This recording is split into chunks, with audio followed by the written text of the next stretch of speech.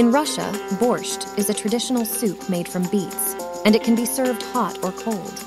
It's a staple dish in Eastern European cuisine.